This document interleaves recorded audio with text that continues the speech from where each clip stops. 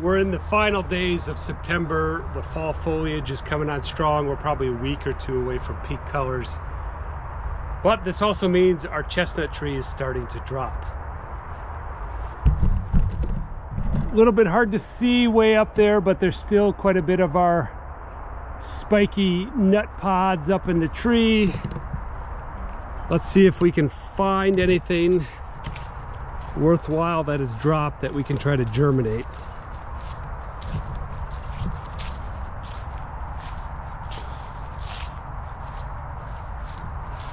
Here we've got an example of those pods that have opened up and released. Here's a, a chestnut too, but these these are duds and what I found is typically these are the first ones to start dropping and animals don't eat them. The squirrels come on really strong and are basically out here nonstop during daylight looking for these chestnuts and see a ripe one or a uh, pollinated one they actually got ahead of me and eat it. So I'm gonna have to start coming out here more often to try to get my hands on an actual filled out chestnut, which because of the spacing, ah darn, another one.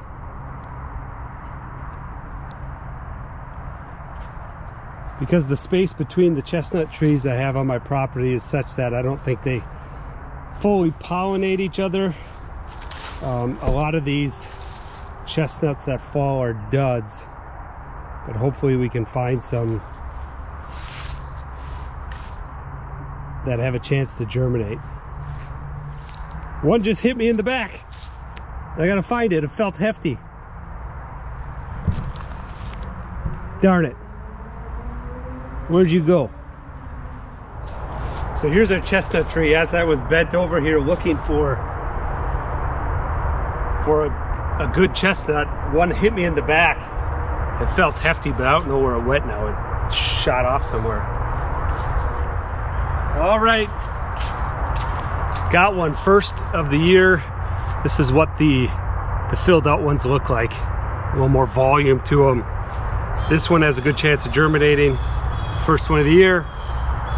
Unfortunately, all my seedlings got eaten by squirrels this spring, so I need to do a better job, but it all starts with collecting them right now, so hopefully I can get a good batch of these.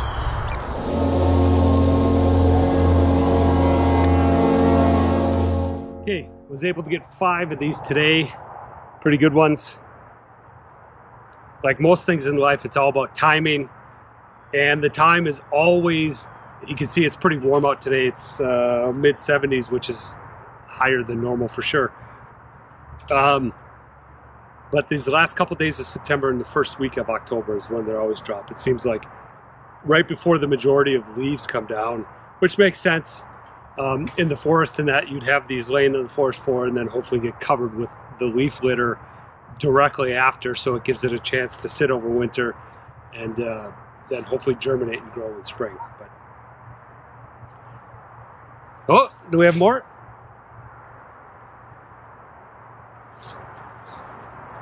Just found two more. We're up to seven today.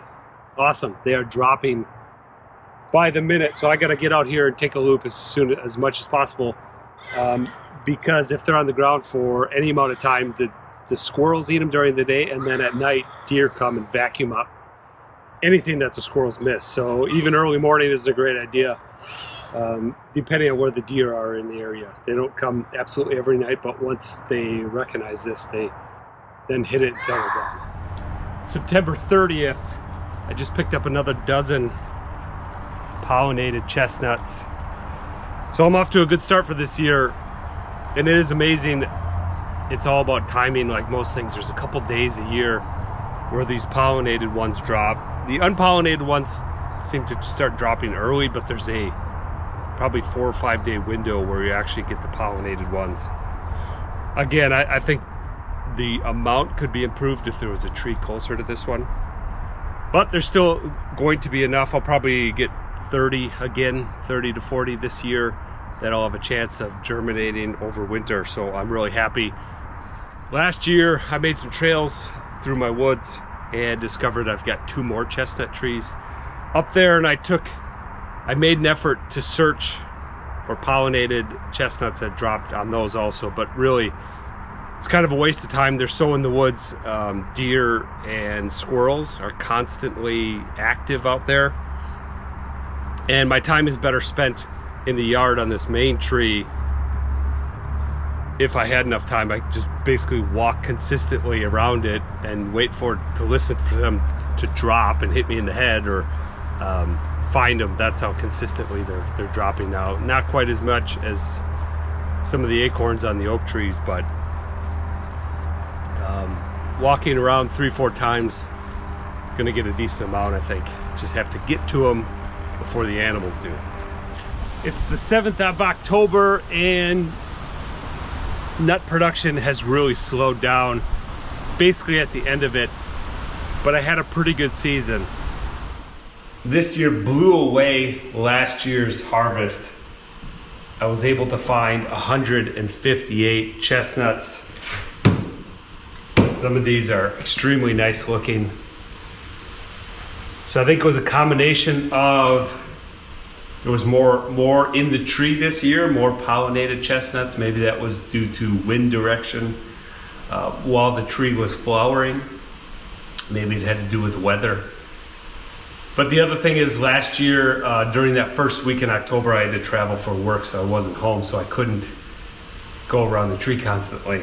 Um, so this year I made more of a concerted effort. I was home, I could do multiple trips around the tree per day and was able to get a lot more chestnuts. So the next thing is to get these in our germination setup. So in spring, we can transfer them hopefully to pots and start growing some trees.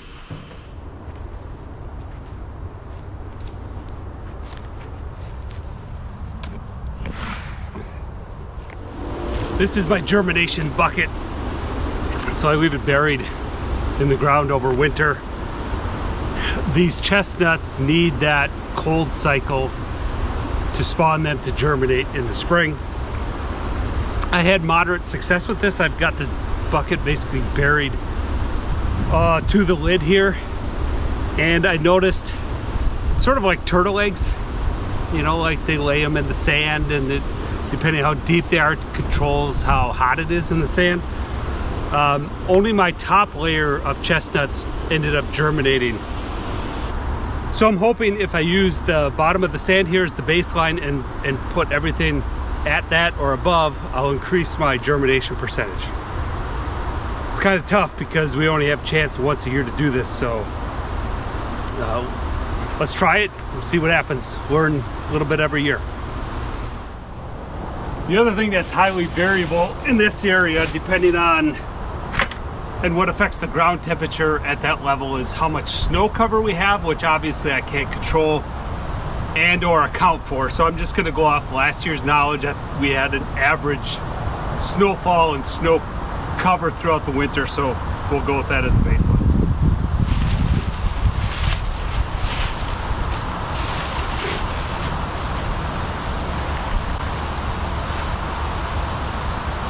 So this isn't a pure peat moss. It's a, a potting soil, but it's very loose like peat moss, not a hard compacted soil. So I think this will work pretty good. I'll mix some of this in with the sand and we'll see what we get. The main thing for me is that it's not a real compacted soil. It's a loose soil that we can get apart and get the chestnuts back out, inspect them to see if they're germinated, and then replant them in a different pot to then grow them. So um, if we put it in clay or something like that, we damage the chestnuts probably trying to get out of it. Um, I suppose we could screen it and rinse it with water, something like that, but a nice loose medium uh, makes it easier to extract them back out and plant them somewhere else. All right, I have my mix of sand and potting soil, which is mostly peat moss, not really a lot of soil. I've got my chestnuts. Today's October 12th.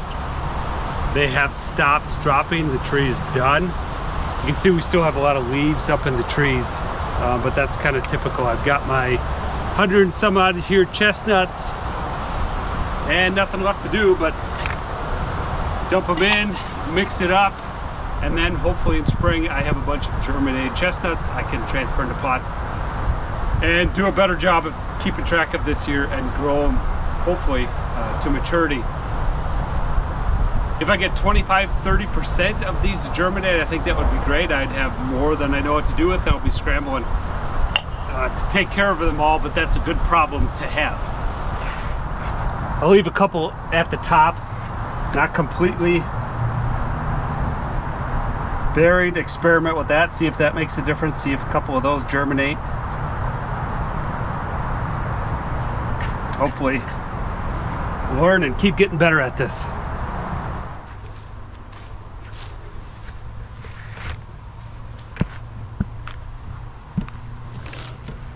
All right, they're all tucked in for the winter. I can forget about them for a while. Although I do have to work on probably getting a grow light set up, maybe some racks, a bunch of pots. Be ready for this in spring. Last year I lost my entire crop to squirrels. I brought the pots outside to get some sunlight and there's still enough of that chestnut on the seedling that those squirrels go nuts over for. And they dug them all up and ate them, which was heartbreaking. Not gonna let that happen again. Thanks for watching. Adios.